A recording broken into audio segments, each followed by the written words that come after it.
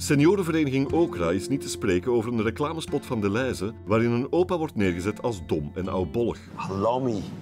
Halloumi, dat is kazen, opa. Oranje frietjes. Ah ja, dat zijn zoete aardappelen, hè. Ze noemen de spot betuttelend en respectloos. Hoog tijd dus voor een nieuwe, meer realistische versie. Alle vis. Opa, dat is sushi. Oké, dat ken ik niet. Wat zijn dat voor rare pannenkoeken? Opa, dat zijn tortillas. Uit Mexico.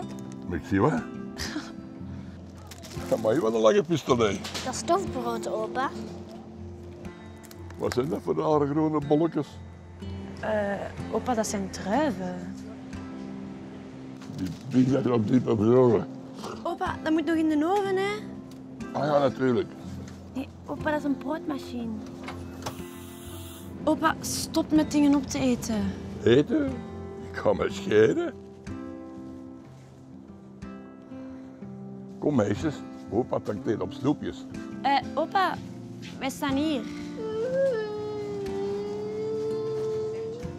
Een bloemetje voor oma. Opa, dat is basilicum.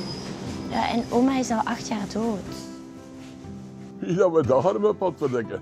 Opa, tegen wie zijn jij aan het praten? Eh, Dat is een André, wij kennen elkaar nog van een turclub. Is die maar André? André?